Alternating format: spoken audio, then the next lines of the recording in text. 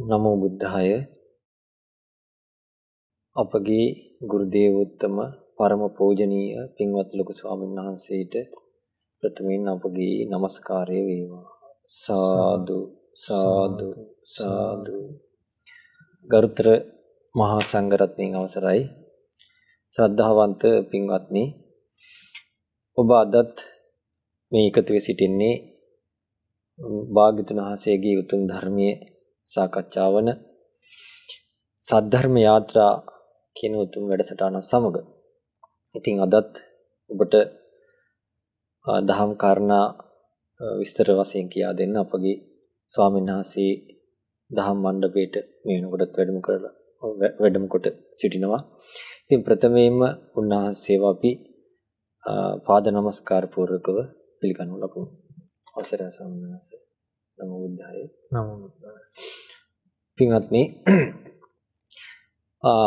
අපි මේ මේ දක්වා භාග්‍යතුන් වහන්සේගේ බුද්ධ ශාසනයේ තිබෙන අනුපිළිවෙලක් අපි කතා කළා. ප්‍රථමයෙන් අපිට ධර්මයේ කොමකටද අවශ්‍ය කියන එක අපි කතා කළා. ඊට පස්සේ ඒ ධර්මයේ අපිට අහිමුණොත් වෙන දේවල් ඊට පස්සේ ධර්ම මාර්ගයට පිවිසෙන්න අපිට අවශ්‍ය කරන දෙයක් තමයි ශ්‍රද්ධාව කියන එක. ඒතර ශ්‍රද්ධාව භාග්‍යතුන් වහන්සේ අපිට කියා දුන්නේ සද්ධාති තථාගතස්ස බෝධි. සාස්ත්‍රුන් වහන්සේගේ අවබෝධය අදාහ ගැනීමයි ශ්‍රද්ධාව. ඒ අවබෝධය අදාහ ගන්න නම් ඒ සාස්ත්‍රුන් වහන්සේ කුමන ආකාරයෙන් වැඩ හිටියාද? උන්වහන්සේගේ ගුණකන්ද කොයි වගේද කියන එක අපි දැනගත යුතුයි. ඉතින් අපි ඔබට මතක ඇති කලින් දේශනාවල අපේ පින්වත් ස්වාමීන් වහන්සේ ඒ භාග්‍යතුන් වහන්සේගේ තිබිච්ච අපූර්ව ගුණධර්ම අපූර්ව හැකියාවන් කාටවත් සම කරන්න බැරි හැකියාවන් ගැන කතා කළා. ඒ තමයි සාසුන් වහන්සේගේ පසස් ගැන. අපි පසස් ගැන කතා කරන්න පටන් ගත්තට ඒ භාග්‍යතුන් වහන්සේගේ පසස් ගැන කතා කරලා ඉවර කරන්න බැරි වුණා. ඉතින් උන්වහන්සේගේ අපි කතා කළා මාංශ චක්කුව මසස ගැන. ඊට පස්සේ අපි කතා කළා ප්‍රඥායස ගැන. අපේ ස්වාමීන් වහන්සේ අපූර්වට ඒක විස්තර කරලා දුන්නා. ඉතින් අපිට තව පින්වත් ස්වාමීන් වහන්සේ අවසරයි කතා කරන්න තියෙනවා ස්වාමීන් වහන්සේ භාග්‍යතුන් වහන්සේගේ තව ඇස් තුනක් ගැන. ඒ තමයි අපිට ප්‍රඥායස බුදුයස සමන්ත චක්කය කියන්නේ ਸਰවත්ත ඥාණය ගැන. ඉතින් ස්වාමීන් වහන්සේ මම හිතන්නේ අපි පින්වතුන් බොහෝ මේ පින් රැස් වෙනවා මේ දේශනාව ශ්‍රවණය කරද්දීම මොකද සාසරුන් වහන්සේගේ මේ ਸਰවත්තා ඥාණය ගැන කතා කරනවා කියන්නේ ඒක දුර්ලභම එකක් නේ ස්වාමීන් වහන්සේ. එතකොට යම් කිසි කෙනෙක් සාසුන් වහන්සේ ගැන අල්ප මාත්‍ර හිත පැහැදීමක් ඇති කරගත්තොත් එයාට බොහෝ කල සැප පිණිස පවතිනවා. ඒ නිසා බොහෝ දිනාට හිත සූපින්ස පවතින උතුම් වැඩසටහනක් තමයි මේ සද්ධර්ම යාත්‍රා කියලා කියන්නේ. ස්වාමීන් වහන්සේ අවසරයි. අපි ප්‍රථමයෙන්ම ස්වාමීන් වහන්සේ දැන් අපිට විස්තර කරන්න බැරුව නම් භාග්‍යතුන් වහන්සේගේ සීලු ඇස් ගැන ඒ කියන්නේ මේ චක්කු ගැන. එතකොට මේ අපි කතා කරේ මාස චක්කෝයේ දිවසය ගැන. අද තියෙන්නේ අපිට කතා කරන්න ස්වාමීන් වහන්සේ මේ ප්‍රඥා ඇස ගැන. ප්‍රඥා ඇස ගැන කොටසක් අපි කතා අපි කොටසක් කතා කරා ස්වාමීන් වහන්සේ. සූත්‍ර පිටකෙන් ස්වාමීන් වහන්සේ අපිට විස්තර කරලා පෙන්වනවා ඒක. එතකොට සාන්නාස අපි අදත් ඒ දැන් කොහොමද භාග්‍යතුන් වහන්සේගේ ගුණ කතා කරලා ඉවර ගන්න බෑනේ. අපි හැකි ප්‍රමාණයෙන් අද සාසුන් වහන්සේගේ ඊතුරු ප්‍රඥා ඇස ගැන පොඩි විස්තරයක් කරොත් අපි පින්වතුන්ට දැනගන්න ප්‍රථමයෙන් සංස අපි විස්තර කරමු. නම බුද්ධාය පින්වත් ස්වාමීන් වහන්සේ ශ්‍රද්ධාවන්ත වාසනාවන්ත පින්වත්නි. ප්‍රඥායස ගැන එතකොට ස්වාමීන් වහන්සේ කතාබස් කරද්දී බුදුරයන් වහන්සේගේ ප්‍රඥායස ගැන ඊළඟට අපි කතා නොකළ විස්තරයක් මේකේ තියෙනවා. මේක තියෙන්නේ මහා නිද්දේශපාලි කියන උතුම් ධර්ම ග්‍රන්ථේ. ඒකේ විස්තර වෙනවා සබ්බ ධම්මේසු බුද්දස්ස භගවතු ඥානම් පරිවත්තති. සියලු ධර්මයන් විසී අපගේ ශාස්ත්‍රුන් වහන්සේගේ ඥානය පෙරලී යනවා. එතකොට පරිවර්ති කිව්වේ ඒකයි සබ්බේ ධම්මා බුද්දස භගවතු ආවජ්ජන පටිබද්දා ආකංක පටිබද්දා මානසිකාර පටිබද්දා චිත්තුප්පාද පටිබද්දා. දැන් සියලු ධර්මයන් කෙරේ සාතුන් වහන්සේගේ ඥාණය හසුරවන්න පුළුවන්. ඕන අතකට ඒක පෙරලා යනවා. සබ්බේ ධම්මා සියලු ධර්මයන්. සියලු ධර්මයන් කිව්වම අතීත අනාගත පච්චුප්පන්න කියන ත්‍රිකාලයට අයිති සියලු ධර්මයන් එතකොට මේ සියලු ධර්මයන් විශේෂයි භාග්‍යතුන් වහන්සේගේ ඥානය කොහොමද වැඩ කරන්නේ? සබ්බේ ධම්මා බුද්දස්ස භගවතු ආවර්ජන පටිබද්දා ආවර්ජනා කිරීමත් එක්ක තමයි සාස්තුන් වහන්සේට ආධාර කාරණේ වැටෙන්නේ. ආවර්ජන පටිපද්දා ආකංක පටිපද්දා. ඒ කියන්නේ සාස්තුන් වහන්සේට මේ කාරණේ දැනගන්න කැමැත්ත එන්න ඕන. කැමැත්ත ආවොත් උන්වහන්සේක මෙනෙහි කරන මෙනෙහි කළ සැනින් සාස්තුන් වහන්සේගේ ඥානට එක වැටෙනවා. ආකංක පටිපද්දා මානසිකාර පටිපද්දා මෙනෙහි කරන්න ඕන. චිත්තුප්පාද පටිපද්දා. ඒකට භාග්‍යතුන් වහන්සේ හිතක් උපදවන්න ඕන. එතකොට මේ හිතක් උපද්දපුවාම භාගතුන් වහන්සේ වහ එක ශෙනින් උන්වහන්සේගේ ඥානය හසුරවන්න පුළුවන් කියනවා. ඒක කොයි වගේද කියලා දැන් උපමාවක තියෙනවා. උන්වහන්සේගේ ඥානය හසුරවන්න පුළුවන් කොහොමද මේ දක්ෂ සරවේදියෙක්. ඒ කියන්නේ අර දුනුවායෙක් දුනුවායෙක් මේ ඊතලයක් වේගෙන් විදිනවා. තල් කොළයක් සිදුරු කරා යන්න. එතකොට මේ ඒකේ කිසි පටලැවිල්ලක් මන්දගාමී බව මුකුත් නැහැනේ. ඒ වගේ සාතුන් වහන්සේට මොකක් හරි කාරණයක් දැනගන්න වුණාම අතීතය අරබය හරින් අනාගතය අරබය හරින් වර්තමානයේ අරබය හරින් දැනගන්න වුණාම භාගතුන් වහන්සේ අන්න මේ බුදුරයන් වහන්සේ ඒක ආවර්ජනය කරනවා. ඒක මෙනෙහි කරනවා. ඒක දැනගන්න කැමැත්ත උපද්දනවා. උපද්දපු ගමන් එක සෙනෙන් සාතුන් වහන්සේට ඒක අවබෝධ නඩ තාල්කොලේ සිදුරු කරන් යන වේගී වගේ කියනවා. ඒකේ කිසි මන්දගාමී බවක් නැහැ. කියන්නේ මේ ප්‍රඥාව පිණිස සාරාංශකේ කල්පලක්ෂයක් මුළුල්ලේ සමතිස් පාරමිත ධර්මයන් පිරුවනේ. එතකොට දැන් අපි හිතමු කවුරු හරි පුද්ගලෙක් ගැන බුදුරයන් වහන්සේට අපි හිතමු දැනගන්න ඕන කියලා මෙයාගේ අතීත ජීවිතේ මෙයාගේ සංස්කාර කොහොමද සකස් වෙලා තියෙන්නේ කියලා. එතකොට ඒ දැන් අපි ගත්තොත් දැන් ධර්ම අවබෝධය පිණිස හරින් එයාගේ ජීවිතය අපි ගත්තොත් මේ එක්කෝ සසර පුරුදු හරින් ආපු රටාවල් බල ධ්‍යාන ලස්සන කාරණා දැන් මතක් වුණේ බුදුරයන් වහන්සේ කාලේ එක ස්වාමීන් වහන්සේ නමක් වැඩ හිටියා උන්වහන්සේ ගොඩාක් වළඳිනවා. එතකොට දැන් ගොඩාක් වළඳනාම දැන් වැළඳීම කොහොමද කියන්නේ සාමාන්‍ය ලොකු පාත්‍රයකින් උන්වහන්සේ එකක් වළඳනවා. ඉතින් භික්ෂුන් වහන්සේලා කතා වුණා මේ උන්වහන්සේ වළඳනවා වැඩි. දැන් මේ වළඳන වැළඳීම මිනිසු දැක්කොත් මිනිසු අපහදිනවා කියලා. ඊට පස්සේ මේක ගිහිල්ලා බුදුරයන් වහන්සේට සැලකලා. භාගතුනා සර භික්ෂුන් වහන්සේ නමක් ඉන්න උන්වහන්සේ මේ වළඳන වැඩි බුදු වැළඳීමක් වළඳින්නේ මේවට මිනිස්සු අපහදිනවා කියලා. ඉතින් බුදුරයන් වහන්සේ එහෙනම් එන්න කියන්න බලන්න මේ භික්ෂුවට කියලා. ඔන්න මේ භික්ෂුව ආවා. වැඩම කළා. බුදුරයන් වහන්සේට වන්දනා කළා. වන්දනා කළාට පස්සේ බුදුරයන් වහන්සේ හැබැයි භික්ෂුව මේ ඔබ ගොඩක් වළඳනවා කියන්නේ කියලා. කිව්වා එතකොට භික්ෂුන් වහන්සේ අනේ භාග්‍යතුන් වහන්සේ මේ ගොඩක් වළඳන්නේ ඔය ටිකයි කිව්වා. ඒ පාත්‍රෙන් එකක් වළඳලා ටිකයි. සාමාන්‍යයෙන් පාත්‍ර එකක් කිව්වම දැන් දැන් බණ අහන කට්ටිය දන්නේ නැහැ පාත්‍ර එකක් කොහෙද සාමාන්‍යයෙන් දැන් පාත්‍ර දෙක තුනක් තියෙනවනේ. හතේ පාත්‍ර තියෙනවා. හතහමාරේවා තියෙනවා, අටේවා තියෙනවා, නවයේ පාත්‍ර ඉතින් තියෙනවා. අටේ පාත්‍රයකින් පුරෝලා බතක් ගත්තොත් සාමාන්‍යයෙන් ඒකේ තියෙනවා හත් දිනකට විතර වළඳන්න බත්. මට මතකයි ඉතින් අපි පින්න පාත් වැඩලා ආපම පස්සේ පාත්‍ර එකක් අරන් ආවොත් ස්වාමීන් වහන්සේලා පස්නවක් විතරක් වළඳලා උපාසක දෙන්නෙකුටත් කණ්ඩ කෑම එකේ තියෙනවා. ඉතින් ඒ උන්වහන්සේ අටේ පාත්‍රය වගේ එකක් කරනවා නම් කොහොම තියෙන්නේ නැද්ද? ඉතින් වණි භාගතුනස මේ ටිකයි කෝ එවලඳුවේ ඔය බඩ පිරෙන්න මාදලා නෙමෙයි කිව්වා. ඉතින් බුදුරජාණන් එක්ක සෙනෙන් මේ භික්ෂුන් වහන්සේ දිහා බැලුවා. ඒ එතකොට සම්පූර්ණ ජීවිත අභ්‍යන්තරේ කතාව සංසාරගත ජීවිත එක්ක සෙනෙන් අහුවෙනවා. ඊට පස්සේ බැලුවා මේ භික්ෂුගේ කෙලිස් තිබෙයිද කියලා. ආහාරෙට කිජුකම. කෙලිස් මුකුත් නැහැ. ඊට පස්සේ බුදුරජාණන් බැලුවා මොකද දුර මේක උනේ කියලා. ආත්ම භව 500ක් ඇතෙක් වෙලා ඉඳලා. ඇතෙක් මං හිතන්නේ ඔය අලියෙක් මං අහලා තිනවා මේ කිලෝ 400ක් ගුතු දවසට කනවායි කියලා. ඉතින් එතකොට මේ වගේ ඇතෙක් වෙලා ආත්ම භව 500ක් ඉඳලා ඊට පස්සේ බුදුරයන් වහන්සේ අදාළ මහන්නේ මේ භික්ෂුන් මුකුක් කියන්නේ වා. නීකලිස් කෙනෙක්. ඒතර බණ අන්න ඥානෙ හැසිරුවා. අතීත අනාගත වර්තමාන කර්ම වර්ගය. ඉතින් මේ වගේ බුදුරයන් වහන්සේගේ මේ ඥානෙ මෙනෙහි කිරීමත් එක්ක තියෙන්නේ. බුදුරයන් වහන්සේ කැමැත්ත ආප ගමන් එක ශරණෙන් ඒක උන්වහන්සේ අවබෝධ කරනවා. හරි ලස්සනයි. දැන් මේ කතාවක් කරද්දී අපි හිතමු දැන් ඔබේ සාතුන් වහන්සේකට හිත පහදිනවා කියමු. ඒ හිත පැහැදිවෙන කොන්න තරම් විපාකදනේ.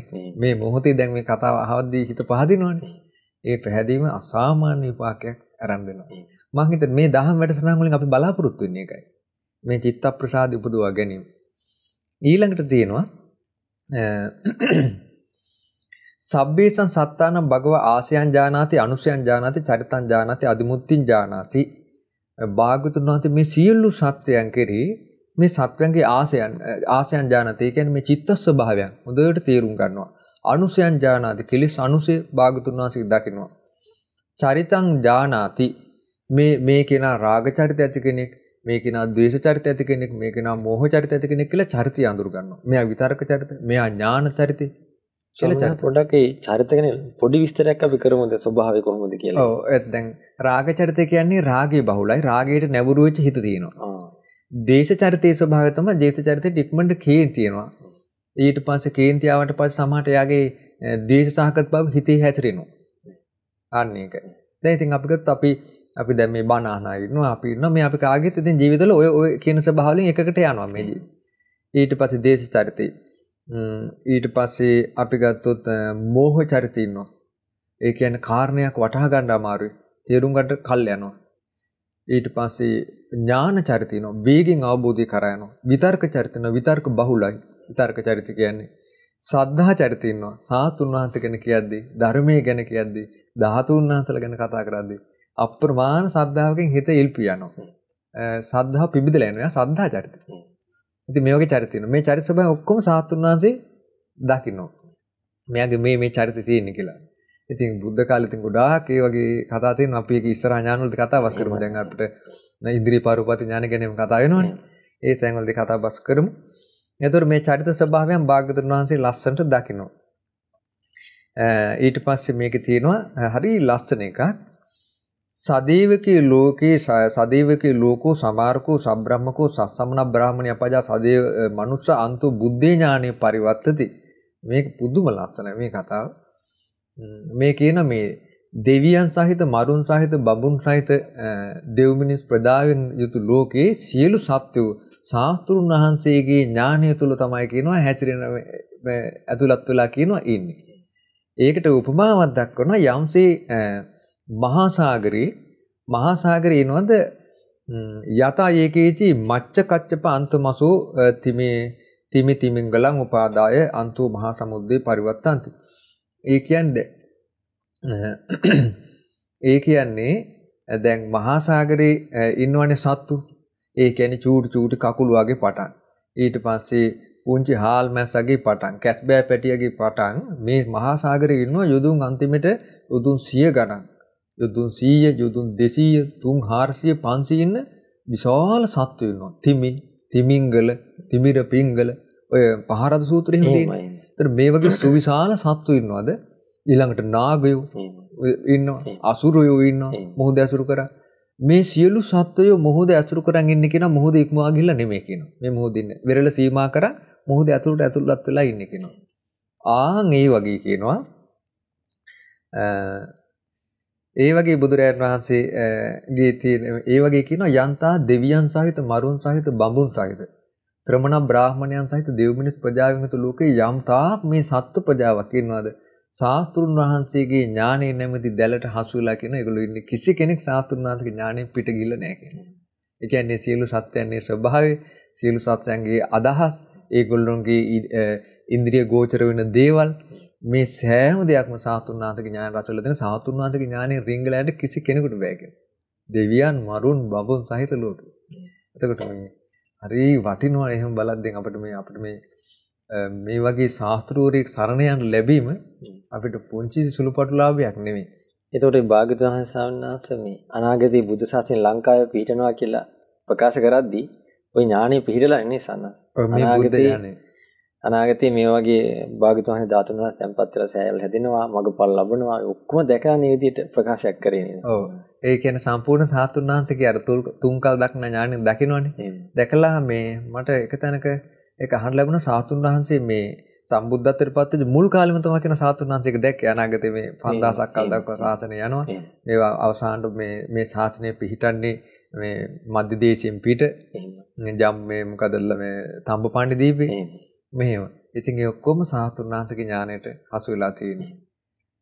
ඊට පස්සේ මේකේ තියෙනවා විශාල දැන් ආකාශයේ සැරිසරන සත්වයෝ ඉන්නවා කියනවා විශාල ගුරුළු රාජයෝ. ඒ ගුරුල් රාජ්‍ය විශාල වුණ සමහර අයගේ ඒ විස්තරවල තියෙනවා මේ ඒ ආත්තටු එහෙම මේ සුවිශාලයි කියලා. මේ අපිට ඉතින් හිතා ගන්න බෑ මේ විස්තර කොහොමද කියලා. මේ විශාල ආත්තටු තියෙන ගුරුල් රාජ්‍ය. ඉතින් මේ වගේ ගුරුල් රාජ්‍ය ඉන්නවා නම් මේ සියලු විශාල ගුරුල් රාජ්‍යව පටා පටන් යම්තාක් සත්වන දෙක ඔක්කොම සමස්ත ආකාශය නෙමෙයි කියනවා ආකාශයේ කොටසක කියන හැදිරෙන්නේ. සියලු ආකාශය වහන්න බෑ කියනවා. මට මතක එක තැනක තිබුණා මේ මේ ඒ ගුරු රාජයේ අත්තටම ආඩ යොදුනක් හරි මෙහෙම විශාල සතෙක් ගැන. අර ජාතකයේ තියෙන සවන්නස මේ එක්තරා මිනිසෙක් ඒ ගුරුල් විමානයට යන්න ඒක තටුවක් අස්සේ තමයි හැංගිලා යන්නේ. තටුවක් ඇසේ. අන්න හරි. එහෙනම් ඒ විස්තරي හරි අඩයොදුනක් වගේ විශාලයි කියන මේ අත්තට ඒක අත්තට. එතකොට මේ වගේ විශාල ගුරුල් රාජයෝ ඉන්නවනම් ඒ ගුරුල් රාජයෝ පවා ආකාශයේ කොටසක කියනවා හැසිරෙන්නේ. මේ ඒ වගේ කියනවා ඒව මේවන් ඒව මේව යේපිතේ සාරිපුත්ත සමා පඤ්ඤාය තේපි බුද්දස්ස පදේ බුද්ධ ඥානස්ස පදේසේ පරිවත්තන්ති ඒ වගේ ධර්ම සේනාධිපති සාරිපුත්යන් වහන්සේ හා සමාන ශ්‍රාවකයෝ පවා අන්ත බුද්ධ ඥානයේ ඒ කියන්නේ බුදුරයන් වහන්සේගේ ඥානයේ කොටසක කියනවා හැසිරෙන්නේ. පදේශේ පරිවර්තන්ද. ඒ කියන්නේ සාතුන් වහන්සේගේ ඥාණයෙන් අඩකවත් නෙමෙයි. පුංචි කොටසක කියනවා සාරිපුත්යන් වහන්සේගේ ප්‍රඥාව හැසිරෙන්නේ සාතුන් වහන්සේගේ ඥානයේ පුංචි කොටසක කියනවා. එතකොට මේ සාතුන් වහන්සේගේ ඥානය සුවිශාල අනන්ත අප්‍රමාණ බව ගැන අපිට හිතා ගන්න අමාරු. විස්මය ජනක එකක්. ඉතින් ඒ වගේ විස්තරයක් තමයි මේකේ සම්පූර්ණ තියෙන්නේ. ඉතින් ওই විදිහට ඒවම් භගවා පඤ්ඤා චක්කුණා විවට චක්කු. ওই විදිහට භාගතුන් වහන්සේ ප්‍රඥා ඇසින් විවෘතෝ ලෝ දක්නාසේක කියනවා. ආත්පසින් විවෘතෝ ලෝ දකිනවා. ඉතින් මේ සත්වයන්ගේ ස්වභාවයක්. එතකොට දැන් අපි ගත්තොත් ස්වාමීන් වහන්සේ දැන් මේ කියන සියලු සත්වෝ සාතුන්නාථගේ ඥානදලට අසුණා කියන්නේ අපි ගත්තොත් දැන් බුදුරජාණන් වහන්සේ මාර්යා ගැන අවබෝධ කළා. එහෙමයි. මාර්යා මෙන්න මෙහෙම කෙනෙක්. එයා අසකරනාසේ දිවකය මනස කියන ආයතන හයට තමයි මෙයා අධිපතිකම පවත්න්නේ. මෙයාගේ දසමාර සේනාවක් ඉන්නවා. කාමාතේ පටමා සේනාව. ဒုတိ ය අරති මුච්චති. පළවෙනි සේනාව කාමේ. දෙවෙනි එක අරතිය තතියා කුප්පිපාසට මේවා බුදු කෙනෙක් මෙහෙම දේශනා කරන අපේ ජීවිතේට කල්පනා කරලා මේ මාරෙක් කියලා කෙනෙක් ඉන්නවා. මෙයාගේ ඊට පස්සේ දස සේනාව මේක කියලා අපිට අහස පොළොව ගැටලන්න කල්පනා කරලා හිතන්න බෑනේ. ආන් ඒක සංස ඕකේ තියෙන පුදුමේ කියන්නේ සාස්ෘණ වහන්සේ බුද්ධත්වයට පත් වෙන ප්‍රථමයෙන් ඕක අවබෝධ කරගන්න. ආ ප්‍රධාන සූත්‍රය තියෙනනේ. ප්‍රධාන සූත්‍රය තියෙනනේ. මම උඹ අඳුනගත්තා උඹට තියෙන සේනාව මේව ටික කියලා. ඔව් මටත් ඒක ඇත්තටම කල්පනා කරලා පුදුම හිතුණා මේ සම්බුදු කෙනෙක් නොවේදි මේක අවබෝධ කරගන්න. අවබෝධ කරා කියන්නේ බෝසත් ජීවිතේ ඒක. බෝසත් කියන්නේ උන්වහන්සේ අර කින් සත්‍ය ගවේෂි. සත්‍ය නිවන හොයාගෙන යන කාලේ උන්වහන්සේ මේ වගේ දේවල් සම්බුදු නුවණක් උපදින්න කලින් තේරුම් අරන් මේක මැඩලානේ සම්බුද්ධත්වයට පත් වෙන්නේ. මේක මං හිතන්නේ විස්මය ජනක මේ හිතින් හිතා ගන්න බැරි එකක්. බැරි ගුණ. මේ අන්න ඒක. ශාස්ත්‍ර ගුණ නිසා. ශාස්ත්‍රවලගේ ගුණය. ඉතින් මේ මේ එතකොට මේ අපි හිතට කතාවස් කළේ ප්‍රඥා ඇස ගැන. එහෙමයි. ස්වාමීන් වහන්සේ දැන් ඕක කතා කරද්දි මට මතක් වුණේ දැන් හරි ලස්සන කාරණාවක් අපිට ඉස්මතු වුණා අර පුද්ගලයන්ගේ චරිත ස්වභාවය ගැන. අපි ඉදිරි වැඩසටහන වල ඒක කතා කරමු මේ මම හිතන්නේ දීර්ඝ විස්තරයක් තියෙන පුද්ගල චරිත ගැන නිසා. ඊට අමතරව දැන් මේ ස්වාමීන් වහන්සේ මට මතකයි සාස්ෘණ වහන්සේගේ සාස්ෘණ වහන්සේ ඉපදීමත් සමග උන්වහන්සේට ශේෂ්ත්‍ර තුනක් පිළිටනවා කියලා. මට මතකයක් තියෙනවා. උන්වහන්සේ ඉපදුනහම අර අකනිටා බ්‍රහ්ම ලෝකයේ දක්වා ඒ කීර්තිරාවේ පැතලෙන. ඊට පස්සේ උන්වහන්සේ ධර්ම දේශනාර ආඥාව පිළිටවනවනේ. ඊට පස්සේ ඒකට කියනවා ආඥා ශේෂ්ත්‍ර නේ සම්ම. ඊට පස්සේ උන්වහන්සේගේ තියෙනවා තව විශේෂ වෙන ශේෂ්ත්‍රය. ඒ ගැන පොඩි විස්තරයක් අපි කරොත් මම හිතන්නේ බුද්ධ ප්‍රඥා චක්කුවටම ඇති වෙනවා ඇති කියලා මට හිතෙනවා. එතකොට එතන තියෙනවා ශාස්ත්‍රූරයේ ජීවිතයේ ක්ෂේත්‍ර තුනක්. එහෙම. එතකොට හැබැයි මේ ක්ෂේත්‍ර තුනේ ඉන්නේ සම්බුද්ධත්වයට පත්වීමත් එක්ක. ඔව්. එතකොට ಜಾති ක්ෂේත්‍රය කියන එකේ ඒ ආනුභාවයේ උපතේදී ඉඳලා එනවා. එතකොට ක්ෂේත්‍ර තුනක් එතන. ඔන්න පින්වත් මේක දුර්ලභ දහම් කාරණාවක් මත තියාගන්න. මේ ඔක්කොම මේ අද කතා කරනවා ගොඩාක් දුර්ලභ දහම් කරුණු. මේ මේවා හොඳයි මම හිතන්නේ දැන් මේ බුදුරයන් වහන්සේගේ මේ මේ ඥාණය මේ අවබෝධය මේ ආශ්චර්යවත් ಗುಣධර්ම මේවා කතා බස් කළා දැන් ඔයගොල්ලෝ දරාගත්තාම ඔයගොල්ලෝ තියෙන වටිනාකම මේක අපි හිතමු ද්‍රෝණයක් ධාතුන් වහන්සේලා වැඩින්න සුවන්මාලි මහසය වන්දනා කරන්න යනවා. එතකොට මේ අපි සාතුන් වහන්සේගේ ගුණ මෙනෙහි කරද්දී ඔන්න ආවර්ජන කරන්න දේවල්. අනේ මාගේ සාතුන් වහන්සේ මේ මෙබඳු සුවිචා සුවිසාලු ආශ්චර්ය ප්‍රඥාවකින් වැඩ සිටියා කියලා සෑදියා බලාගෙන වැඳගෙන සාතුන් වහන්සේගේ අවබෝධය මෙනෙහි කරනවා. ඊළඟට මල්වට්ටි අතීතයන් ඇද්දි මේ ලස්සනට බුදුගුණ මෙනෙහි කරගෙන නිස්සද්ද යනවා. එතකොට හැම වෙලෙම දැන් වන්දනා කරද්දී අපි ගොඩක් ගාථා කියාගෙන ඉතිපිසෝ ගාථා කරන එහෙමත් අඳින ක්‍රමයක් තියෙනවනේ. එහෙම වැන්දට සමනස් අපි පද ටික විතරනේ. මෙනෙහි කරන දෙයක් ගොඩක් අය දන්නේ. ගොඩක් අය දන්නේ. දැන් මම හිතන්නේ මේ ධර්ම දේශනාව ශ්‍රවණය කරද්දී එයාට ගොඩාක් මේ ශ්‍රුතියෙන් පෝසත් වෙන්න පුළුවන් මේවා අහලා එයාගේ මේ මේ සද්ධා පුදව ගන්න පුළුවන්. සද්ධා පුද ගන්න හොඳ අවස්ථාවක් තමයි දැන් අපි ගත්තොත් දැන් වන්දනා කරත් තියෙන බොහොම නිස්සද්දව වඳින්න පුළුවන් ක්‍රමයක්. මල් වට්ටි දැන් එයා අතට අරගෙන එක්ක මල් තැම්පත් කරද්දී නැත්නම් ලස්සන සෑය වට්ටි පැදුගුණ කරද්දී ලස්සන සාතුන් වහන්සේගේ බුදුගුණ මෙනෙහි කරන් නිස්සද්දව යනවා. එහෙම. එතකොට එහෙමත් වඳින්න පුළුවන්. ඊට පස්සේ මල් තැම්පත් කළා සෑය ඉස්සරහා සෑය දිහා බලාගෙන වැඳගෙන සාතුන් වහන්සේගේ මේ කියාපු අවබෝධය මෙනෙහි කරනවා. කරද්දි කරද්දි එයාගේ හිතේ චිත්ත ප්‍රසාදෙ එන්නේ. චිත්ත ප්‍රසාදේ එන්නේ එන්නේ පින අතිශයින් බලවත් වෙන බවට පත් වෙනවා. මොකද අපිට දැන් පින රැස් කරද්දි ගොඩක් අයට මේ කලබලී පින්ට බාධා කරනවා. ඒක ඇත්තම අපි ඉස්සරහට පින රැස් කරගන්න ආකාර ගැන කතා බස් කරමු. දැන් මෙතන මේ ක්ෂේත්‍ර තුනක් කතා කරන්නේ. එකක් ಜಾති ක්ෂේත්‍රය. ಜಾති ක්ෂේත්‍රයේ පළවෙනි එක, දෙවෙනි එක තමයි උන්වහන්සේගේ ආඥා ක්ෂේත්‍රය. තුන්වෙනි එක ඥාන ක්ෂේත්‍රය. ಜಾති ක්ෂේත්‍රය කියන්නේ සාතුන් වහන්සේගේ ජීවිතය හා සම්බන්ධ විවිධ අවස්ථාවලදී උන්වහන්සේගේ ඉපදීමත් එක්කම ඒක බලපවත්වනවා. දසදහසක් ලෝක ධාතු වලට පැතිර ගිය බුද්ධ බල ක්ෂේත්‍රය කියන්නේ. උන්වහන්සේගේ අනුභවයේ ඒ තමයි සාතුන් වහන්සේ තුසිත දෙව්ලෝ ඉඳලා භාගතුන් වහන්සේ බෝසතාණන් වහන්සේ ඇටියට තුසිත දෙව්ලෝ ඉඳලා යන් දවසක ඊතා සිහිනුවණින් තුසිත දෙව්ලෝවෙන් චුතු වෙලා මව් කුස පිළිසඳ ගන්නවද? ಜಾති ක්ෂේත්‍රී කම්පා වෙනවා. එතකොට දෙවියන්ගේ දේවානුභාවයේ ඉක්මා ගියපු උදාර ආලෝකය පහළ වෙනවා. මා කුස පිළිසඳ ගනිද්දී. ඒ වගේම ලෝකාන්තරික නිරිය පවා එළිය වැටෙනවා. ඒ ಜಾති ශේත්‍රය. එතකොට බලන්න මේ සාතුන් වහන්සේගේ ජීවිතයක තියෙන මේ ආශ්චර්ය අద్భుත ධර්ම. හරි ලස්සන ඒවා. දැන් වෙන කවුරුත් පහල වුණාට ඔහොම වෙන්නේ නැහැ නිසා. වෙන කිසි කෙනෙක් පහලනට වෙන්නේ නැහැ. ඉතින් ආන් ඒක සාතුන් වහන්සේගේ නමගේ තියෙන අර ආශ්චර්ය මිනිස්සෝ කියන ආශ්චර්යවත් මිනිස්සේ අසම අසම සම කියන ගුණ මේ තියෙන්නේ. ඊළඟට දැන් උන්වහන්සේ තව ලස්සන කාරණාවක් වෙනවා. උන්වහන්සේ දැන් මව කුසට පිළිසිඳ ඊට පස්සේ උන්වහන්සේ මව් කුසේ වැඩි ඉඳලා තියෙන්නේ ධර්මාසනෙට නැගපු ධර්ම කතිකයන් වහන්සේ නමක් වගේ කියනවා මව් කුසේ වැඩි හිටියේ. ඒත් ඇත්තටම ආශ්චර්ය අద్భుත කාරණා ගතුන් ගොඩාක් කතා කරන්න තියෙනවා. ගොඩක් ඒක දන්නේ නැහැ. භාගතුන් වහන්සේ මව් කුසේ ඉඳලා තියෙන්නේ අපි වගේ වකුටු වෙලා නෙමෙයි. ධර්මාසනෙට නැගපු පළගක් බඳන් ධර්මාසනයක ඉන්න දක්ෂ ධර්ම කතිකෙක් වගේ ඔහොම ඉදිරිපස බලාගෙන සාතුන් වහන්සේ වැඩ ඉඳලා තියෙන්නේ. එතකොට තමයි අර බෝසත් මාතාව කුසේ ඉන්න දර්ශනගිත්තාව දකින්න. එතකොට ඒකත් ඉතින් ආශ්චර්ය දෙයක්. මම කතා කළේ ಜಾති ක්ෂේත්‍ර ගැන මව් කුසියෙන් බිහි වෙලා උන්වහන්සේ අර සත් පීවරක් ගමන් කරන මව් කුසියෙන් බිහි වෙද්දි තියෙනව නේද ආලෝකයේ පැතිරෙන. ඒ කතාව තියෙනවනේ දසදහසක් ලෝක ධාතු ආලෝක වෙනවා කියලා. සත් පීවර ගමන් කරනවනේ. සත් පීවර ගමන් කරද්දී උතුරු උතුරු දිග බල මගේ මතක හැටියට සත්පියවර ගමන් කරද්දී උන්වහන්සේ ශ්‍රේෂ්ඨ ප්‍රකාශයක් කරන අග්ගෝහමස්මි ලෝකස් යන ආදි වශයෙන් ඒ වෙලාවේදී උන්වහන්සේට දසදහසක් ලෝක ධාතු පේනවා කියන බෝසත් කුමාරයමයි. එතකොට දසදහසක් ලෝක ධාතුයි අපි ගතු උතුරු දිශාවට අයිති සියලු ඒ ලෝක ධාතු වල සියලු දෙවියෝ බ්‍රහ්මයෝ සියලු සත්වයෝ සාතුන් වහන්සේ දිහා බෝසතාණන් වහන්සේට වැඳගෙන කියනවා මහා පුරුෂයන් වහන්සේ මේ දිශාවේ ඔබ වහන්සේට වඩා වැඩිතරම් කෙනෙක් අපි දකින්නේ නැහැ ඊට පස්සේ ඒකේ තියෙනවා උන්වහන්සේ දස දික් බලනවා කියලා. ඊට පස්සේ උන්වහන්සේ උතුරු දිශාවෙන් ඊට පස්සේ බලන නැගෙනහිර දිශාව.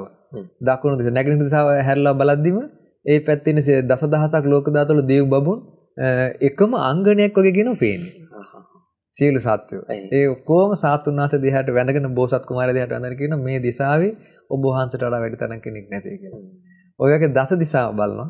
ඒ බල්ලා තමයි ඇඟිල්ල ඔසවලාගෙන අග්ගෝ හමස් ලෝකස මම මේ ලෝකෙට අග්‍රයි. ජෙට්ටෝ හමස් ලෝකස මම මේ ලෝකෙට ජේෂ්ඨයි වැඩිමහල්. සෙට්ටෝ හමස් ලෝකස මම මේ ලෝකෙට ශ්‍රේෂ්ඨ උත්මයා කියලා. මේක කරන්නේ. ඔන්න ಜಾති ක්ෂේත්‍රය. එතකොට මේ ಜಾති ක්ෂේත්‍රයේ කම්පා වෙනවා උන්වහන්සේ සම්බුද්ධත්වයට පත් වෙද්දී. ಜಾති ක්ෂේත්‍රයේ කම්පාන කියන්නේ දසදහසක් ලෝක ධාතු වල ක්ෂේත්‍රය. කියන්නේ ලෝක ධාතු දසදහසක වපසරීම කියන්නේ. ඊළඟට සම්බුද්ධත්වයට පත් වෙද්දී දසදහසක් ලෝක ධාතු කම්පා වෙනවා. දෙවියන්ගේ දේවානුභාවික මගේ උදාර ආලෝකේ පහළ වෙනවා. ඊළඟට ඊළඟට අපි ගත්තොත් ඒ මුන්වහන්සේ අනුත්තර ධර්ම චක්‍රය ප්‍රවර්තනය කරද්දී දසදහසක් ලෝක ධාතු කම්පා වෙනවා ආලෝකයේ පැතිර යනවා. ආයු සංස්කාරය අතහරින්දී පිරිනිවන් පාද්දී මේ අවතල. ඕක කියන්නේ ಜಾති ක්ෂේත්‍රය. ඊළඟට ජීවිතෙත් එක්ක සම්බන්ධ ටික. ඔව් ජීවිතෙත් එක්ක සම්බන්ධ ක්ෂේත්‍රය. ඒ කියන්නේ ජීවිතයේ විවිධ අවස්ථාවලදී ඒ ಜಾති ක්ෂේත්‍රයේ කම්පා වෙනවා. ආලෝකයත් පැතිරෙනවා. ලෝකාන්තික නිරිපෝ එළියට මේ අවස්ථාවලදී ආඥා ක්ෂේත්‍රය ගත්තාම භාගතුන් වහන්සේගේ බුද්ධාඥාව බලපවත්වන වපසරිය. ඒක ආඥා ක්ෂේත්‍රය කියන්නේ එතකොට ආඥා ක්ෂේත්‍රයේ කෝටි ලක්ෂයක් සක්වල. ආඥා ක්ෂේත්‍රය. ඒ කෝටි ලක්ෂයක් සක්වලට බුද්ධාඥාව බලපවත්වනවා. එතකොට බුද්ධාඥාවෙන් භාගතුන් වහන්සේ වදාළ විශේෂ පිරිත් තියෙනවනේ. රතන සූත්‍රය. දජග්ග සූත්‍රය, ඊළඟට මෝර පිරිත, ඊළඟට අපගේ අඟුලිමාලයන් වහන්සේ වදාළේ අඟුලිමාල පිරිත. මේ වගේ ඒවා. තවත් සූත්‍ර එනවා මට මතකයි. කරණීයමිත සූත්‍රය.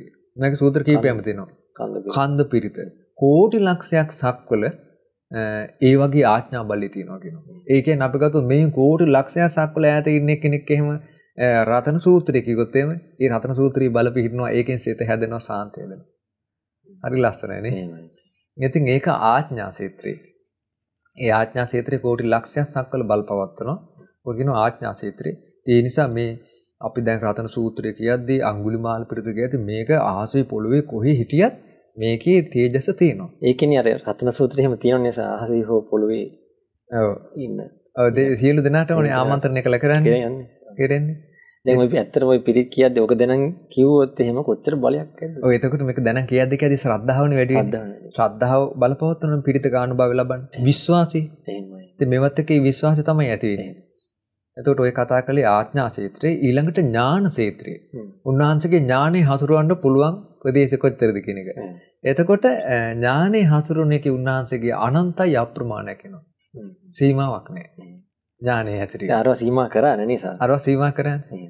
ඒකයි මේ බුදුරයන් වහන්සේ වදාළේ උන්වහන්සේට මේ සියලු ආකාරයෙන් සබ්බේ ධම්මා සියලු ධර්මයන් අතීත අනාගත වර්තමාන සියලු ධර්මයන් කෙරෙහි උන්වහන්සේගේ ඥානෙ හ්ම්. හසුරවන්න පුළුවන්.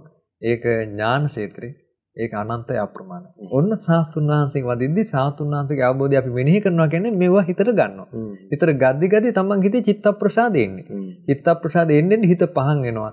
නීවරණ සංසිඳෙනවා. හොඳට කුසලයේ හිත පීඩනවා. මම හිතන්නේ බුද්ධානුස්සතිය වඩන එකට හොඳ දෙයක් මේවා. භාග්‍යතුන් වහන්සේගේ අවබෝධය සිහි කරද්දී අනේ අපගේ භාග්‍යතුන් වහන්සේ මෙවැනි ත්‍රිවිධ ක්ෂේත්‍රයක් භාග්‍යතුන් වහන්සේගේ ජීවිතේ තිබ්බ කියලා හොඳට බුදු ගුණ මෙනෙහි කරන්න පුළුවන්. ඒතර යාගේ හොඳට බුද්ධානුස්සතිය වැඩෙනවා. ඔය තමයි ක්ෂේත්‍ර තුන. එහෙමයි. සමහරවිට දැන් ඔක කතා කරද්දී මට මතක් වුණ එක තැනක සමහර පුද්ගලයෝ අද වර්තමානින් අය ඒගොල්ලෝ සම කරලා බන් මේ සමාජයේ ඉන්න මිනිසුත් එක්ක තමයි සාස්ෘණාංශයේ උපත බුදු වීම ආදී ප්‍රඥාව ආදී දේවල්.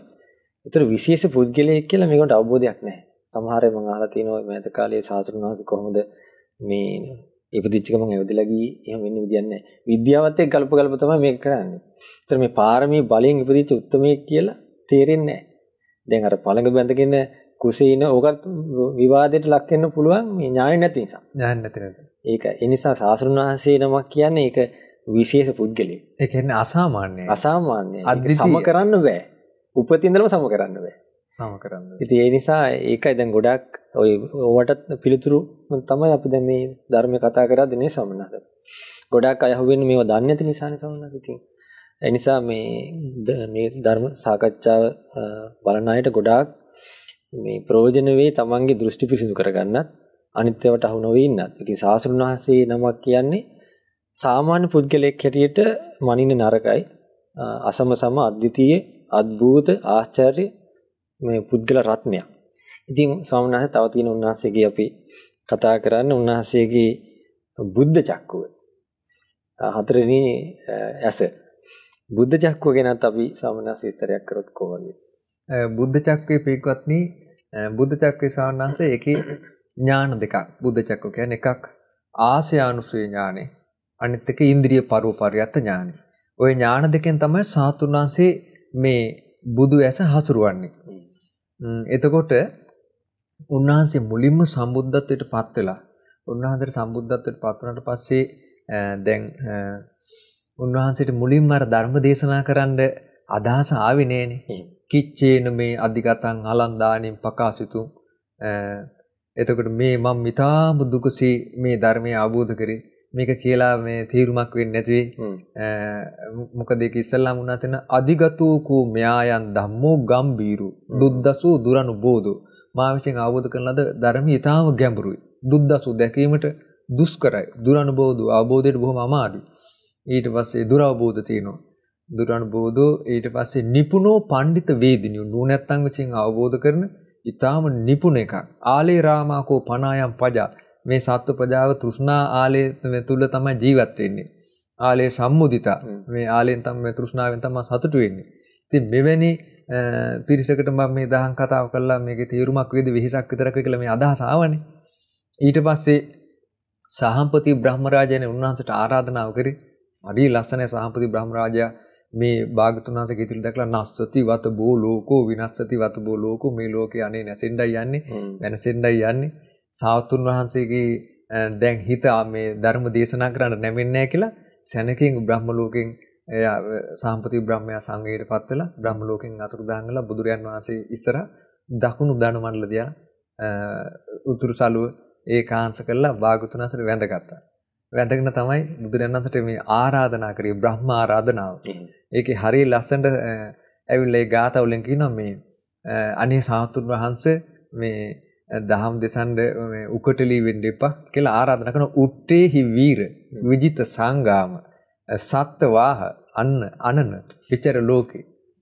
කියනවා මේ උත්තේහි වීර. උත්තේ වීර කියන්නේ මේ මහා වීරයන් වහන්සේ නැගී සිටින සේක්වා. විජිත සංගාම යුද්ධයේ දිනු උතුමාණෙනි. යුද්ධයේ දිනු උතුම් පුරුෂ රත්නේ පුරුෂයාණෙනි ඊට පස්සේ විජිත සංගම් සත්වාහ මේ දෙව් මිනිස් ලෝකයා සතරෙන් එතරට ගෙන යන ගැල් කරුවාණන් වහන්සේ. මේ වන් සාතුන් වහන්සේට ප්‍රශංසා වචන බ්‍රහ්මයා. බ්‍රහ්මයා. එතර බ්‍රහ්මයේ කොහොමද සාතුරු සාතුරු ගෞරවය? සත්වව අනන ඒ කියන්නේ ණය නැති ආණෙනි විචර ලෝකේ මේ ලෝකේ සැරිසරා වඩන සීක්වා ලස්සන දේශයසු භගවා ධම්මං අඤ්ඤාතාරෝ භවිසanti කියනද භාග්‍යතුන් වහන්සේ දහම් දෙසන සීක්වා අවබෝධ කරන සත්‍යය පහළ වෙනවා කියලා මේකෙන් තමයි ආරාධනාව කළේ. ආන් ඊට පස්සේ උන්වහන්සේ බුදු ඇස තමයි පාවිච්චි කරන්නේ. බුදු ඇසෙන් උන්වහන්සේ ලෝක දිහා බලනවා. බැලුවාම දකිනක ලස්සනට නිලුම් පොකුණු වගේ. එහෙම දැකලා තමයි උන්වහන්සේ ඔන්න ලස්සන ගාතාවක්. මම මේ ගාථා කියන්නේ මේක පුදුම විදිහට චිත්ත ප්‍රසාද වෙනවා. උන්වහන්සේ ලස්සන ගාතාවක් දේශනා කරනවා. අපාරුතා තේසං අම තස්ස ద్వාරා ඒ දහම් වසන කැමට ඔවුනට අපාරුතා තේසං අමතස ద్వාරා අමෘතේ ద్వාරේ විවෘත කරන ලද්දේ යේ සෝතවන්තෝ පමුංචන්තු සද්දං. යමෙක් සදහන් අතනු කැමැත්තෝද? ඒ සත්වෝ සද්ධාව මුදත්වා කියලා. ලස්සන ලස්සන වචනයක්. ඒ කියන්නේ ධර්මයේ අහන්න කැමති කෙනා සද්ධා මුදන්න ඕන. සද්ධා මුදන්න ඕන. සැකේ නෙමෙයි. සැකේ සැකේ දෙගිඩියාවනේ.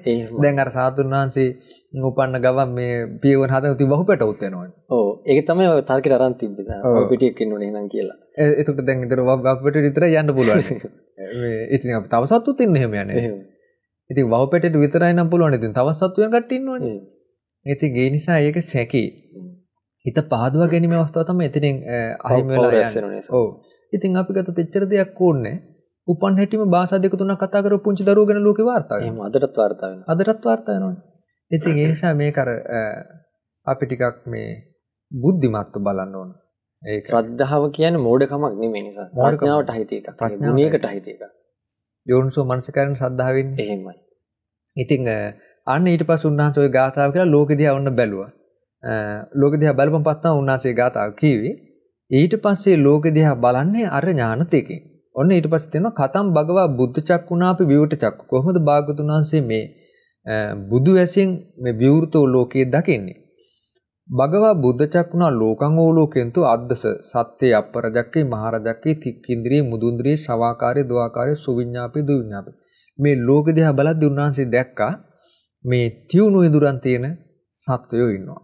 අප්ප රජක්කේ කෙලෙස් අඩුයි. ඊට පස්සේ තව සමහර සත්තු ඉන්නවා මුදු ඉඳුරන් තියෙන්නේ කෙලෙස් බහුලයි. සමහර සත්තු ඉන්නවා වේගෙන් අවබෝධ කරගන්න පුළුවන්. සමහරට වේගෙන් අවබෝධ කරගන්න බෑ. ගොඩක් යා මහන්සි වෙන්න ඕන. මේ විදිහට ලස්සන දැක්කා මේක අර ලෝකෙ දැක්කුණාට නෙළුම් පොකුණක් වගේ.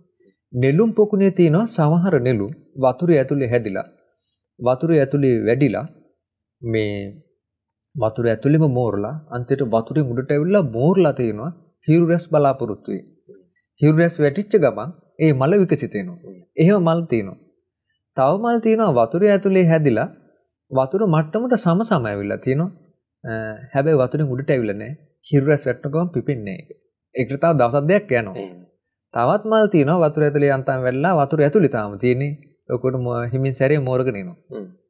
තවත් මල් තියෙන උන්නත් දැක්ක කියනවා. ඒක ලස්සනට විස්තර වෙනවා අටුවාවේ. සමහරවල් වතුර ඇතුලේ හැදිලා තිබ්බට පණුව ගහලා කියනවා. සත්තු කාලා කියනවා නරක වෙලා කියනවා තියෙන්නේ. ඒවා උඩට වර්ධනයක් වෙන්නේ. දැන් අර මෝරපු නෙළුමක් දකින්න නේද? වතුර ඇතුළෙම හැදිලා වතුර ඇතුළේ වැඩිලා උඩට ඇවිල්ලා හිරු රැස් ආපු ගමන් විකසිත වෙන ස්වභාවය යුතු මල. ඒ වගේ තමයි කියන සාතුන් වහන්සේ දකින්නේ උග්ගටි තඤ්ඤු පුද්ගලයා. අන්න හරි ලස්සන එක. උග්ගටි තඤ්ඤ කියන්නේ ධර්මයේ මාතෘකා පද වශයෙන් විතරක් දේශනා කරාම අවබෝධ කරගන්න. අපගේ ධර්ම සේනාධිපති සාරිපුත්යන් වහන්සේ උග්ගටි තඤ්ඤ. ඒකයි පුංචි වචන මාත්‍රකින් ධර්මය අවබෝධ කළේ. ඊ ධම්මා හේතුප්පබව තේසං හේතු තථාගතෝ ආහ කියද්දී. උග්ගටි තඤ්ඤ. ඊළඟට බාහ්‍ය දාරුචීරිය රහතන් වහන්සේ උග්ගටි තඤ්ඤු. පුංචි අවවාදයක් විතරයි කළේ. ඒ වගේ කියනවා මෝරපු නෙළුම් වගේ කියනවා. ඊට පස්සේ තව එක නෙළුමක් තියෙනවානේ මෝරට මෝරලා තියෙනවා නමුත් වතුරෙන් උඩට ඇවිල්ලා නැහැ වතුර මට්ටමට ඇවිත් තියෙනවා. ඒ ටහරෙන් අනිත් ධාරෙන් ඒක පිපෙනවා. ඒ වගේ විපංචි තඤ්ඤු කෙනා දකින්න කියනවා. එතන විපංචි තඤ්ඤු කෙනාට මාතෘකා පද වශයෙන් දේශනා කරන්න විස්තර විභාගය කරන්න ඕන. විපංචි තඤ්ඤු අයත් ගොඩාක් හිටියා. මම හිතන්නේ දැන් විපංචි තඤ්ඤු තමයි අර මේ පුක්කු සාතිකුල පුත්‍රයා. පුක්කු සාතිකුල පුත්‍රයාට මාතෘක ධාතු විභංග සූත්‍රය දේශනා කරන්නේ. මාතෘකා පද විස්තර කරා ඊට පස්සේ විස්තර විභාගෙත් අදාලා මාතෘකා පද අදාලා. අන්න විපංචි තඤ්ඤු. ඒ වගේ ඊට පස්සේ නෙය නෙය පුද්ගල ගොඩාක් හිටිය බුදු සාසන. නෙය පුද්ගල තමයි අර හෙට හරින් අනිත් දරින් පිපෙන්නේ. වතුර ඇතුලේ තියෙන හතියක් විතර යනවා. උඩට ඇවිල්ලා හියුරස් වටනාම ලස්සනට විකසිත වෙලා එනවා. තව එකක් තියෙනවා නේද අර ඇතුලේ නරක වෙච්ච එක. ඕක උඩට එන්නේ නැහැ. පදපරම කෙනා කියන්නේ ඒ වගේ. පදපරම කෙනා දකිනවා කියන්නේ ඒ වගේ. හැබැයි පදපරම කෙනා දැන් අපිත් බණ අහනයි ඉන්නවනේ. අපි හිතමු මේ කාලේ ගොඩක් ඉන්නවා පදපරමයි. බුරු කියන්න ඕනේ නෑ. ඒ වුණාට පදපරම කෙනත් පින්වත්නි ඔයගොල්ලෝ අපි හිතමු අපි දන්නේ නැහැ අපි කොයි පුද්ගලයාද කියලා. ඒ වුණත් එයත් ධර්මයේ හැසිරෙන්න ඕන. එයත් ධර්මයේ හැසිරුණාට පස්සේ ඒ පදපරම එක්කනා මේ මහන්සි මේ ධර්මය අහලා දරාගෙන විශේෂයෙන් හිත පහදවා ගැනීම. අඩු ගානේ අපිට හිත පහදවා ගැනීමේ ආසාව තියෙනවා. හිත පහදාගෙන එයා මේක ධර්මයේ හැසිරෙද්දී එයා මරණය මත දෙවියන් අතර යනවා. දෙවියන් අතරදී අවබෝධ කිරීමේ chance එක තියෙන පදපරම කෙනාට. ඊළඟට දෙවියන් අතර ගිහිල්ලා එයාට කරගන්න බැරි වුණොත් එයා ගුණධර්ම පුරාගෙන යද්දී ඊළඟ බුදු සාසනයට යනවා. ඊළඟ බුදු සාසනිකත් එයාට බැරි වුණොත් එහෙම එතනින් එහාට පච්චේක බුද්ධ වෙන අවස්ථාවක් තියෙනවා කියන පතපරම කෙනෙක්. ඒ නිසා මේ බුද්ධ ශාසනය මේ කිසි කෙනෙකුට මේක නිකන් අතහැර දාන්න දෙයක් නැහැ. හැමෝටම පීඨ පිළිසරණක් තියෙනවා. හැමෝටම පීඨක් පිළිසරණක් තියෙනවා. ඉතින් මේ වගේ කියන උන්වහන්සේ අර ඒ ඥාණයෙන් දකිද්දි බලද්දි දකින්නේ. ඉතින් මට මෙතන මතක් වුණා අර මේ අපි ගත්තොත් අර චුල්ලපන්තක ස්වාමීන් වහන්සේ කතා ගත්තොත් චුල්ලපන්තක ස්වාමීන් වහන්සේ දැන් අපි ගත්තොත් පාඩම් හිටින්නේ පාඩම් හිටින්නේ දැන් මොකද වුනේ ඊට පස්සේ අයියා මහා පන්තක අයියා ඉක්මනට අවබෝධ කළා රහතන් වහන්සේ නම් බාට පත් වුණා මේ චූටි ස්වාමීන් වහන්සේට දුන්න ගාතාවක් පාඩම් කරන්න කියලා. ඉතින් ගාතාව උන්වහන්සේට පාඩම් හිටින්නේ 4 මාසයක්. ඊට පස්සේ අයියා කිව්වා මල්ලි මේ මේක හරියන්නේ නැහැ. ඔබට මේ ගාතාවක් පාඩම් කරගන්න බෑ මාස 4ක් ගිහලා. ඔබට මේකෙන් බෑ කිව්වා කිසි ප්‍රයෝජනයක් ගන්න මට පෙනෙටි. මල්ලි උඹ ගෙදර ඵලයක්. ගිහිලා අර කුඹුරක් කරන් ජීවත් වෙනවා කිව්වා. ඉතින් පූජ්‍ය ශාස්ස අඬ අඬ ඉදිනේ බුදුරයන් වහන්සේ එතෙන්ට ඇවිල්ලා මේ හිටුනේ ආන් ඒ වෙලාවේ බුදුරයන් වහන්සේ එක් කරන් ඇවිල්ලා පූජ්‍ය ස්වාමීන් වහන්සේ මේ අඬ අඬ හිටියන් ගේට්ටුව ළඟ කිව්වා මේ මොකද අඬන්නේ කියලා පස්සේ අනේ භාගතුන්ස මට අයියා යන්න කියලා. ආ මේක අයියාගේ ශාසනයක් නෙවෙයිනේ. චුල්ල පන්ත ගෙන්න කියලා අතින් අල්ලා කොහොම වාසනාවද නේ සාතුන් වාසනාවක් අතින් අල්ලන් එන්නතර. ඇවිල්ලා අන්න බුදුරයන් වහන්සේ ඥානෙ පාවිච්චි කළ බැලුවා මෑ කොහොමද සංස්කාර ඉන්ද්‍රිය ධර්ම වැඩ කළා තියෙන්නේ කියලා. බුදුරයන් දැක්ක අවබෝධ කිරීමේ හැකියාව හොඳට පිරලා තියෙනවා. ඊට පස්සේ තමයි අර රෙදි කෑල්ල දුන්නේ.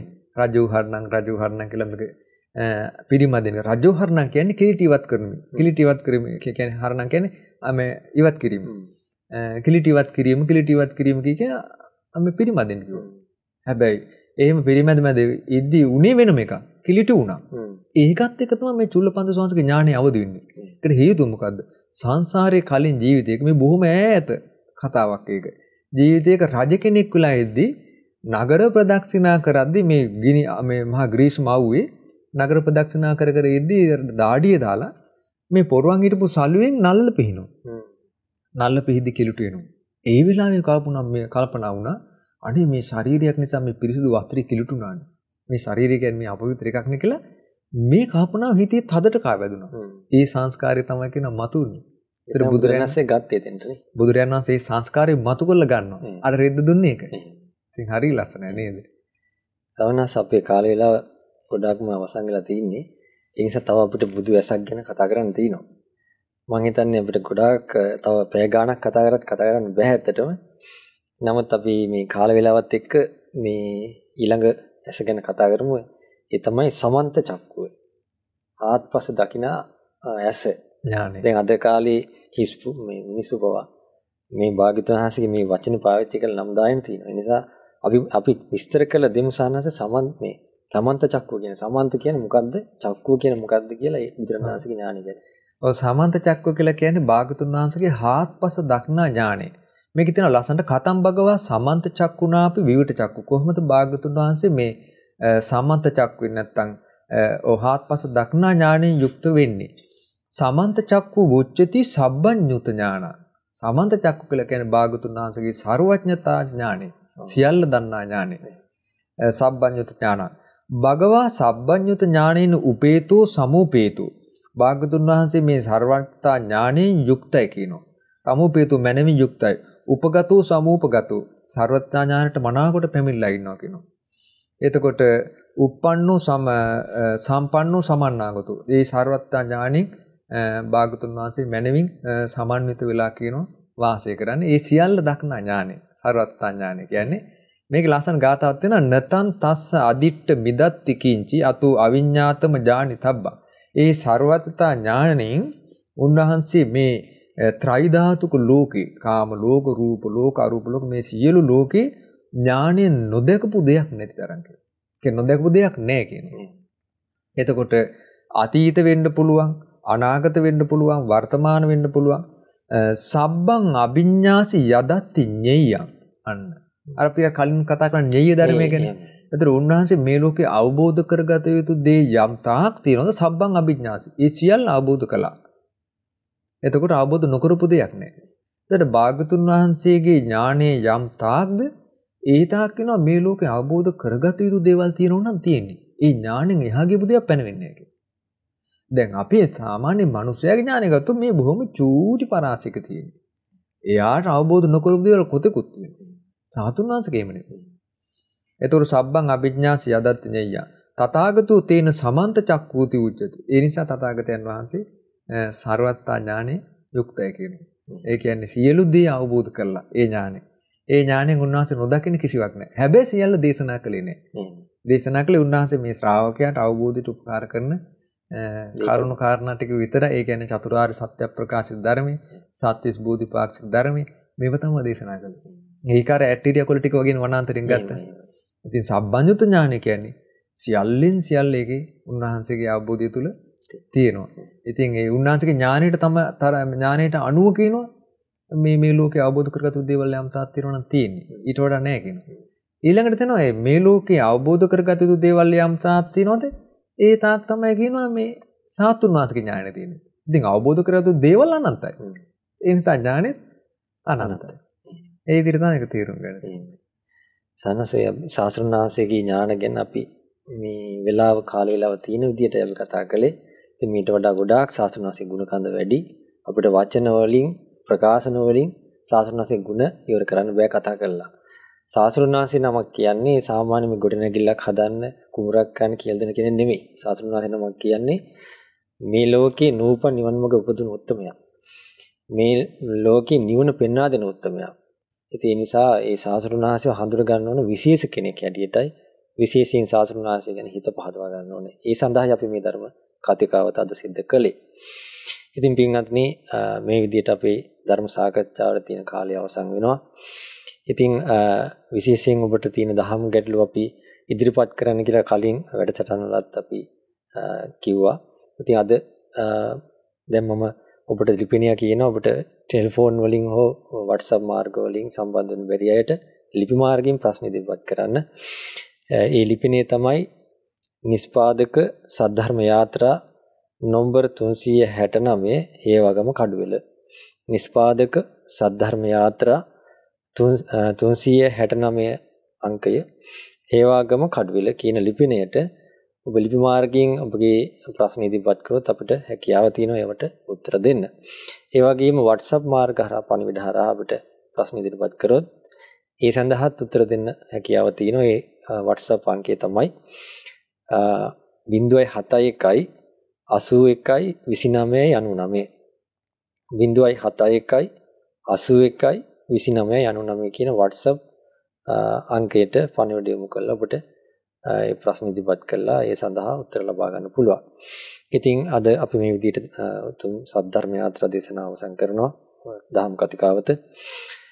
ඉතින් අද දවසේ යම් තාක් අපි පින් රැස් කරාද පිනට කැමති වන යම් තාක් දෙවියෝ ඇද්ද ඒ සීල දෙවියන් අනුමෝදන් වේවා දෙදෙව්ලොවට අධිපති සක් දෙවිදානන් සිව්වරන් දෙවියන් සෙම්පති දෙවියන් ඉෂ්ඨකාමී දෙවියන් මේ බුද්ධ ශාසනය සුරකින රට ලෝකවාසී සීල දෙවියෝ මේ පින් අනුමෝදන් වේවා මේ දෙවියන්ගේ දිවි යසීසුර ආශ්චර්ය අනුභවය වැඩි වේවා සද්ධා සීලාදී සීක ඵලයන්ගෙන් දෙවියෝ වැඩෙත්වා දෙවියන්ට ධර්මාභෝධය පිණිසත් මේ පින් උපකාර වේවා. සාදු සාදු සාදු. රැස් කරන ලද මේ උතුම් පුණ්‍ය ධර්මීය අපගේ පරම පූජනීය ගුරු දේවෝත්තම පින්වත් ලොකු ස්වාමීන් වහන්සේට අනුමෝදන් වෙලා උන්වහන්සේ නිදුක් නිරෝගී සුවපත් භාවයේ දීර්ඝාස ලබත්වා කරන සාසනික කටයුතු සුවසේ නිදුකින් කරගෙන යන්න හැකියාව ලබත් ලැබේවා.